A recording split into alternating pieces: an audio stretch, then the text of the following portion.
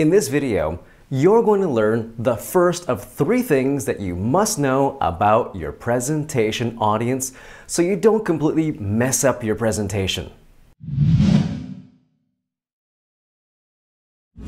Okay, so knowing your audience is one of the most important, if not the most important, part of preparing your presentation. It's far too easy to assume what your audience wants to hear, and even easier to completely mess up your presentation because you didn't know your audience. The worst part is you might not even know you messed up. But if you've ever noticed that your audience isn't paying attention or you didn't get the result you were hoping for, it's pretty safe to say you didn't know your audience as well as you should have.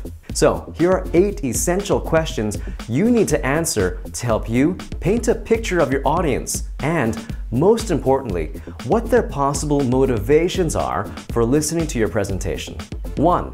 Are they male or female? 2. How old are they? 3. What do they look like, as in their physical appearance and how they dress? 4. Where do they live? 5. What kind of job do they have? 6.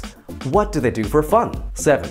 What is their education level? And finally, 8. What is their social status? And there you go. You can now get a pretty good picture of who your audience is. In the next two videos, I'll talk about how you can better understand your audience's motivations so that your presentation content matches up with what your audience wants to hear. So be sure to subscribe to my YouTube channel and Subscribe to my newsletter at carlkwan.com so you don't miss a thing.